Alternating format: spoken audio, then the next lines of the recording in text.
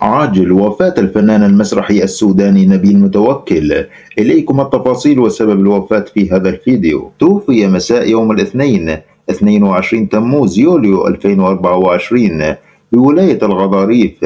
الفنان الدرامي المعروف نبيل متوكل وذلك بعد صراع مع المرض. والمرحوم هو من مواليد مدينة بحري. 1954 بدأ مسيرته الفنية منذ منتصف السبعينيات وشارك في بطولة عدد من المسرحيات مثل أكل عيش ونحن كده والعم صابر والنصف الحلو وتباشير وأبو فانوس. ونعى نشطاء على مواقع التواصل الاجتماعي الفنان السوداني دعينا الله أن يرحمه ويلهم أهله ومحبينه الصبر والسلوان.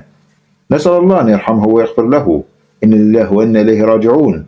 إلى هنا وصلنا لنهاية هذا الخبر ونهاية هذا الفيديو. لا تنسونا باللايك والاشتراك في القناة ليصلكم كل جديد. شكرا جزيلا لكم على المشاهدة وإلى اللقاء.